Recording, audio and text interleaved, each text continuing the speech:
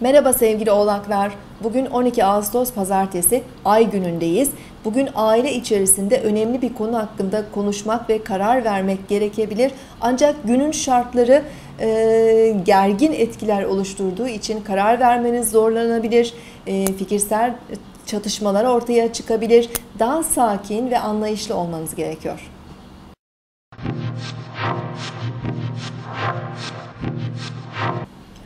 Burcunuzu dinlediniz. Bugün 12 Ağustos pazartesi ay günündeyiz. Terazi burcunda ilerleyen ay sabah 4.30'da Mars'la kare açı yapacak ve ardından boşluğa girecek. Bu nedenle güne biraz huzursuz ve keyifsiz başlayabiliriz. Baş, mide ağrısı gibi kronik sağlık problemleri bugün daha fazla e, ortaya çıkabilir. Kaza ve sakarlıklara da açık enerjiler var. Dikkatli olmalıyız. Annemizle ve bayanlarla olan ilişkilere de gün boyu biraz daha dikkat edip anlayışlı davranmamız gerekiyor.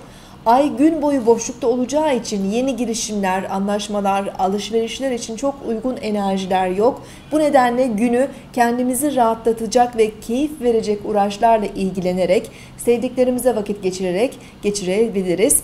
Ay gece 23.20'den itibaren Akrep Burcu'na geçecek. Yarın tekrar görüşmek üzere. Hoşçakalın.